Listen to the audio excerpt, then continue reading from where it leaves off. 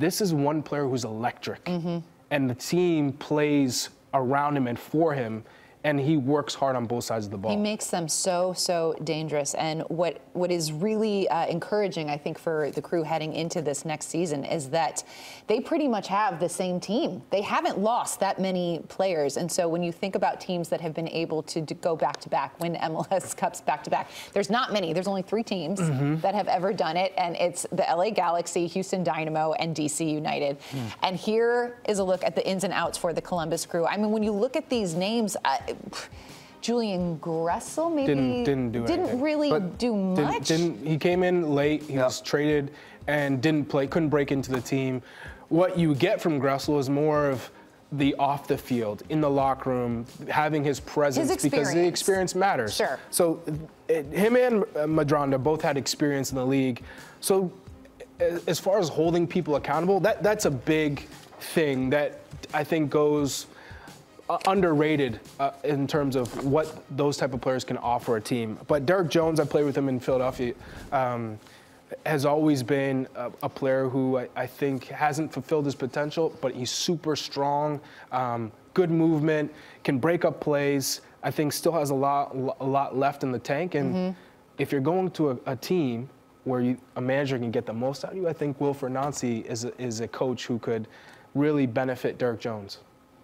So you guys are telling me now that I'm looking at the odds, I don't, I don't, I don't like it when it, odds are put out on the screen and you want to look at it. I mean, considering what you, considering what you guys are saying, it, if I had ten dollars and I was, oh, I had hundred dollars, you give me a Benjamin.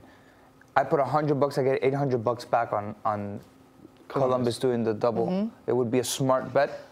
Uh, okay, no team has won back-to-back MLS Cup championships. This is we're watching the LA Galaxy. Uh, Nico in real time turning into a gambler. I was going to say, is there ever a smart bet? It's been over 10 years no. since a team's been able to do it. It's very Fair. hard. It's a, it's a, it's very hard to do it. And I think we we talked about LA uh, LAFC being a team that looked like they were built to go back-to-back. They weren't able to to do it.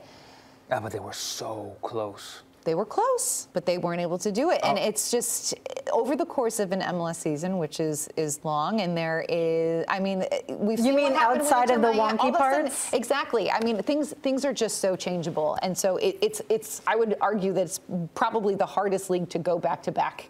Well, it's it's in. it's it's not only that. I think you look at this Columbus Crew; they have continuity. They have a manager everyone believes in. They mm-hmm. have a mm-hmm. great style and identity. But how do you improve the squad? And mm. if you look at this Columbus Crew side, where for me where they were a little questionable is in the center of, uh, can we look at can of we the back look at the because you have Rudy Camacho who understands what Wilfried Nancy wants and okay. played with him yeah. at Montreal. But Camacho is is slow, mm-hmm. and when he he has a tendency to dive in and anticipate and step, and when you step, that you're creating a lot of space. And, and so Schulte had a pretty good season. He got on the, the U.S. men's national team, got the call for January. I think does, it's. Does he hit a sophomore slump? Well, we saw what Celentano did. Yeah. And he had a, a slump to start last season.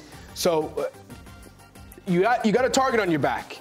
You're MLS Cup champions. Everyone's gunning for you. You set you, the standard. If, if you if you had not unlimited resources, but you say I can, you can buy two players. Which two players would you change from this team to reinforce Columbus to to make them better, to improve this squad? Would it be Camacho and Schulte?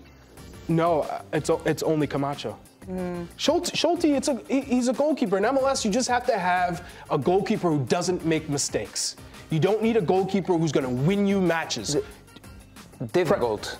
It is no, it's not that difficult. You don't have to go and spend millions of dollars on a top keeper, okay. which is great in this league. Just get a keeper who doesn't make mistakes. Patrick Schulte won you an MLS Cup. So that tells you you don't need to improve that position.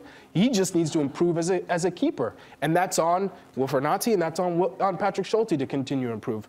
Defensively, I loved what Amundsen can give you because he's so flexible. Oh, he he's left wonderful. wing back. He, his distribution got better. His one-on-one defending got Honestly, better. Honestly, like his shift to Columbus because he was not being utilized enough nor well at NYCFC was the greatest gift for mm-hmm. him and the crew. Mm-hmm. And I think he really is starting to flourish because and, his confidence is getting back. But to your earlier comment about, you know, how do you improve this side? I think now knowing that these are all really solid players, in my opinion, it comes down to the intangibles, right? So you have a player like Cucho and somebody that's that confident in himself, both on and off the ball. I think it just breeds this this confidence across the squad. Right, and I think that it's the intangibles from each player that start to kind of propel them forward. If you're going to do something going Yeah. forward with the same players. And depth depth is tested. Depth is going to be tested, especially in that midfield who clocked a lot of minutes last mm. season as mm-hmm. well. And also, on the whole, I think the East has gotten a lot stronger. There are some really good teams. And I mean, Inter Miami are going to have a full season of Messi and company as well. So I think they are equipped to repeat as MLS Cup Yes. champions. I mm. just don't think it's as easy. I'm taking as my hundred dollars back after this segment. And, and, Mo- and let's not sleep on Moreira. Moreira is one of the best Diego defenders. Rossi. I keep forgetting Diego Rossi's Yeah. on this team as well.